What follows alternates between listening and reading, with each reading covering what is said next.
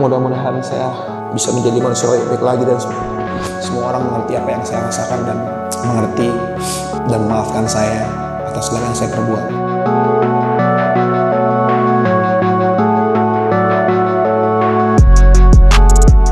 Halo semuanya, selamat datang di Pedas Manis Channel yang akan mengabarkan kabar terbaru terhangat seputar dunia selebritis tanah air Spesial hanya untuk kamu Halo bunda di mana pun berada, selamat pagi, siang, sore, malam Kapan pun bunda menyaksikan video ini ya Apa kabar bunda? Sudah siap untuk menonton video berita artis terbaru dari channel kami? Let's go! Sebelum lanjut, jangan lupa subscribe, share, like, dan klik tombol loncengnya ya seperti sebuah pepatah sudah jatuh tertimpa tangga, rupanya seperti itulah nasib yang kini sedang dialami Inara Rusli. Usai dirinya membongkar dugaan perselingkuhan suaminya. Di sisi lain, suami Inara yaitu Virgon baru-baru ini membuat pernyataan. Ia mengaku salah dan meminta maaf atas tindakan yang telah diperbuatnya.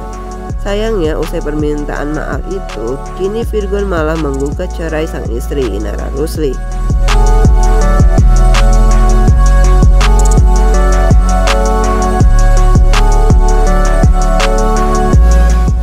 Kabar gugatan perceraian ini dikonfirmasi oleh kuasa hukum Virgon yaitu Sandi Arifin.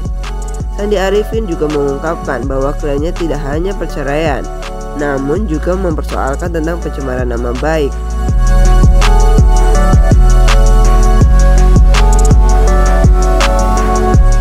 Melansir dari video yang diunggah oleh Virgon, dirinya mengatakan tidak akan mengeluarkan satu kata pun yang tidak baik untuk siapa pun. Hal tersebut nampaknya sebuah sindiran untuk Inara yang telah membongkar skandal perselingkuhannya.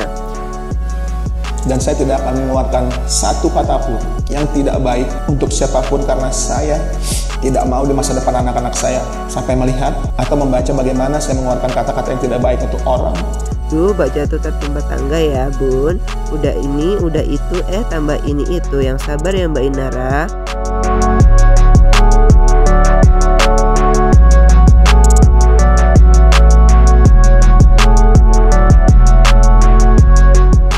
Terima kasih sudah menonton video kami. Jangan lupa subscribe, like, dan komen ya. Bye-bye.